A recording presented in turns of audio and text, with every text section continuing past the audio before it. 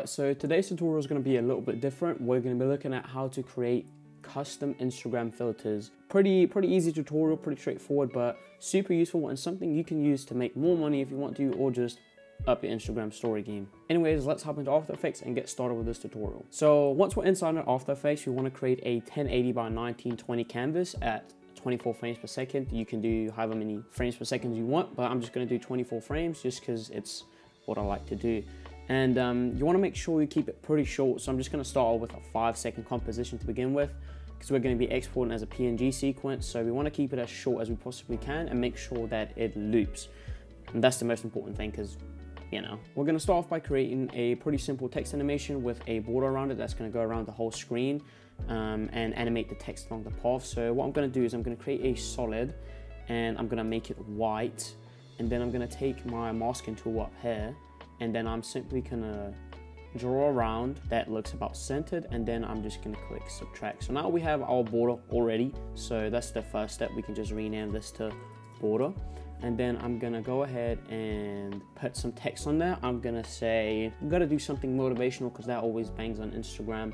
So let's do something like, uh, gotta keep it moving. And I'm just gonna center it so we can have a look at it. Looks pretty decent, but I'm gonna decrease it, uh, increase the cutting a bit or just reset it actually. So now this is what we have to begin with and it looks pretty good, but we want this text to be shown around this border inside of it almost and animate around. So first of all, we're gonna go ahead and pick a different color for this. Let's do like an orangey yellowy. And then what we're gonna do is take this mask, copy it and paste it onto our text layer. And then we're just gonna go ahead and click and drag this and kind of center it. Now, if you open our text properties, you can go into text and path options and then click mask one, which is the mask we have. And then we want to reverse path. I'm just gonna change the color of this so we can see what, the do what we're doing because uh, contrast is horrible. As you can see, it's pretty close to, well, it goes all the way to the edge of this, which it's up to you if you want to increase the border or move the text. So what I want to do, I like the size of our border, so I'm just going to change the path that the border is on. I'm just going to click two points at a time and incrementally increase it a little bit just so be somewhat centered. And this can be pretty finicky, especially if you want to get it pretty good. So sometimes it can be worth it just to zoom in and kind of see what you're doing.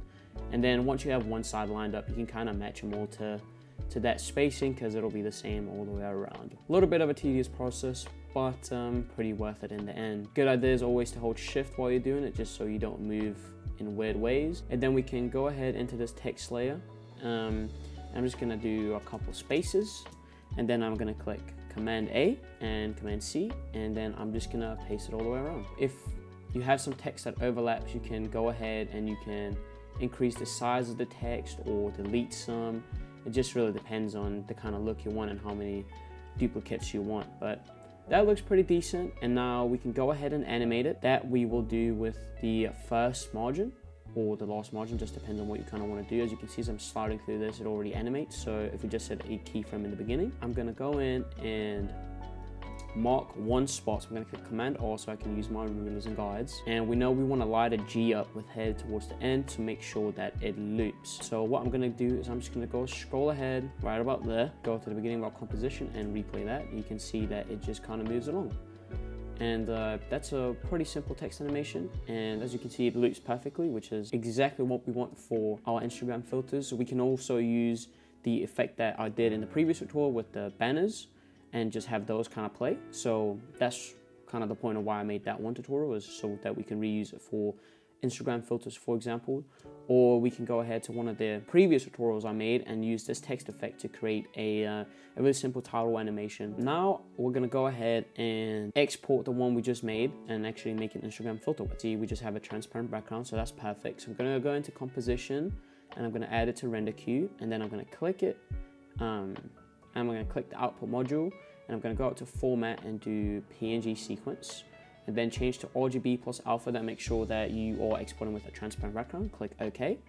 And then we can just go in here and I have a folder already set up and I'm just going to put in a subfolder that's called border and then I'm gonna click save and render that out. And once that's rendered out, we're gonna hop into Spark AR or Meta Spark, whatever it's called now, and that's where we'll be creating our Instagram filters. So make sure you download that. I have the links, all the links you might need in the description. So if you're ever wondering about something, check it out. So now that we're inside of Spark, you can do a bunch of this. You can create um, face filters, whatever you want really. This is just kind of a basic tutorial just to kind of show you around a little bit. So we're gonna start by creating a new project. Um, and I'm just gonna increase this a little bit so we can see better. And now the we're here, you can see what a blank canvas looks like. So I'm gonna start off by clicking the plus down here in the assets tab and I'm gonna add an animation sequence and I'm just gonna rename this to border. Up here, I'm gonna choose file, which is where we'll select our PNG sequence. And once you've located your files, you wanna go ahead and click one of them at the top, hold shift and click the very last one and then click open. And since there is a size limit to it, you wanna make sure that you don't go too overboard. So now you can, it's imported it and we're gonna make sure that we set this to 24 and you just wanna match that to whatever your, your sequence was in After Effects. So now that we have that, I'm gonna click the plus in the scene folders and I'm gonna scroll down to um, 2D objects and then click on the rectangle and insert.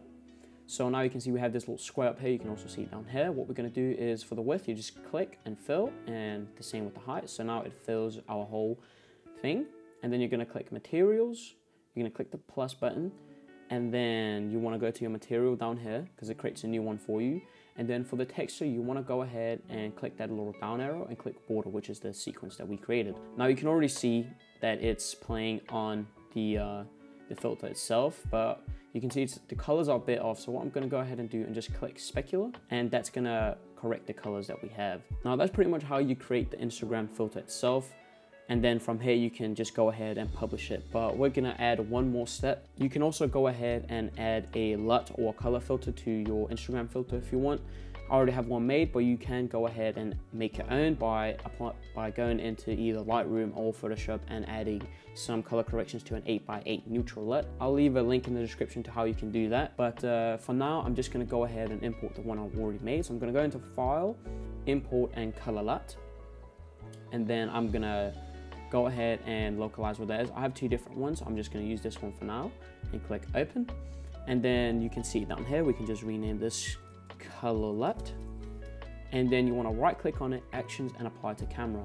And now you can see that the filter has been applied to her face and that is pretty much all that we're going to be doing for now. So we have our border and we have our color filter. And other than that there's really not much more you want to do to it. Um, from here you just want to go ahead and click publish. I also want to mention that you do need a uh, Facebook or Instagram account to do this since you're publishing there, but I, I don't think you'd be watching a, a, tutorial on how to create this if if you didn't have Instagram. Um, but we're going to select publish to new effect. You can also, if you're working on an effect already and you've already uploaded it but then want to change it, you can update an existing one. But we're going to publish a new effect and then we're going to click add experience and add this and we're just going to click a sharing effect and insert that and I'm just going to click that one just why not you know click done and then you can see that the textures are being compressed. So you just have to wait until that green one is checked. And once that is checked, you'll be able to hit upload. So once you've hit publish on your filter, you'll be prompted with this site, which is where you can name your filter. You can add tags for it. And you will also, before you publish it for real, you also have to upload a uh, file, like a demo kind of showing how it works and um, all this boring stuff. But once you've clicked save, and um, once you've typed in most of the stuff and you've hit save, you can click test on device and then you'll be able to pick where to send it to. I usually just send it to Instagram. And as soon as you hit that, you'll be prompted with a notification on your phone. And if you open that up, it'll automatically show you the filter so you can try it out. You won't be able to post anything with the filter until you've actually published it, but it's a good way to test whether the filter works or not. Anyways, that's pretty much it for this tutorial. I hope you learned something new and hopefully you also go ahead and start creating your own Instagram filters and spice up your social media game or use it to your advantage and make some more money. I hope you enjoyed the video nonetheless, but uh, yeah, that's all for me this time. Thank you, and um, I'll see you next week.